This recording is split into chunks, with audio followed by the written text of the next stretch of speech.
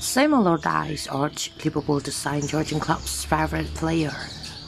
Sam Allardyce is back at Charlotte to suit he transferred to Liverpool, days after Jurgen Klopp called the 27 years old his favorite footballer, not already part of his own squad.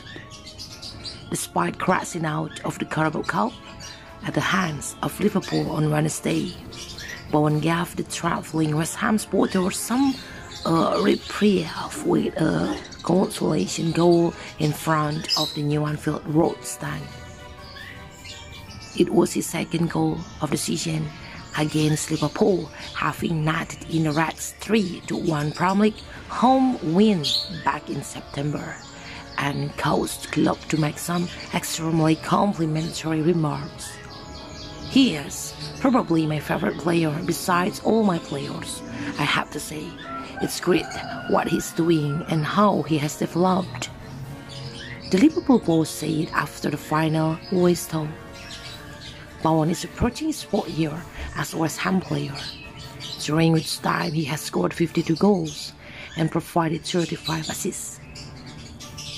It helped to earn his Sports England call-up in the summer of 2022 and perhaps his most career defining moment was scoring the winner in last season's Europa Conference League final to win the Hammers that first match trophy in over 40 years. There is also the matter of Mohamed Salah heading away to compete in AFCON with Egypt next month.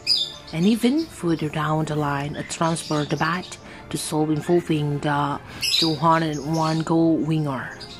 All of this considered, Allardyce was asked, Is Bowen the closest player to Mo Salah in terms of position and style? Is he someone Liverpool so be looking at soon?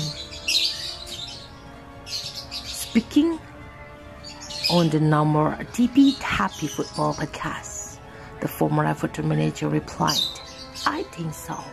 I think he's earned his place for people to look at him like that. He's been up there. He's been in the England squad, been left, uh, had a quiet time, and now he's come back again. It's not just what he has as a player, it's what he has in terms of capability. He's underestimated, I would say, by all of football in the Premier League. Perhaps one big club doesn't, and they make a move for him.